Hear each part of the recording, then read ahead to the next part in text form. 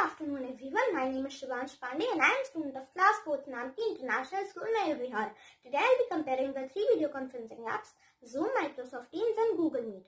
The distinctive feature of Zoom is that it allows the participants to chat privately and clear his or her doubts from the teacher. As a result, the whole class is not disturbed.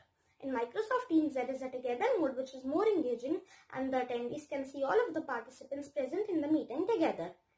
In Google Meet, uh, everybody gets to know when someone joins, leaves or is being removed from the meeting. As a result, no one can leave an incomplete session because they know that they are being tracked.